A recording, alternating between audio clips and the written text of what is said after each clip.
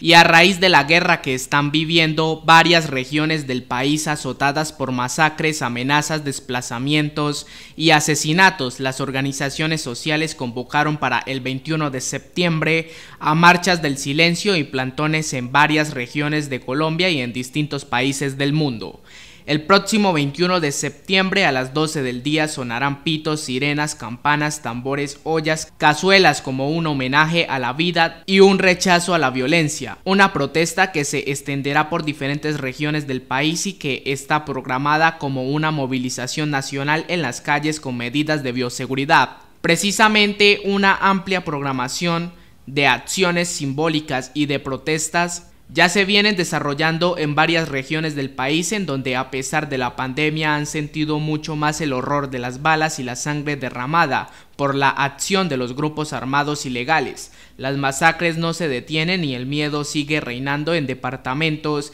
que sintieron una tranquilidad momentánea tras la firma del acuerdo de paz con las FARC. Desde el 5 de enero pasado y hasta la fecha, en Colombia se registraron 55 masacres que han dejado 218 víctimas mortales, según la recopilación de El Espectador y datos de la Consultoría para los Derechos Humanos y el Desplazamiento CODES.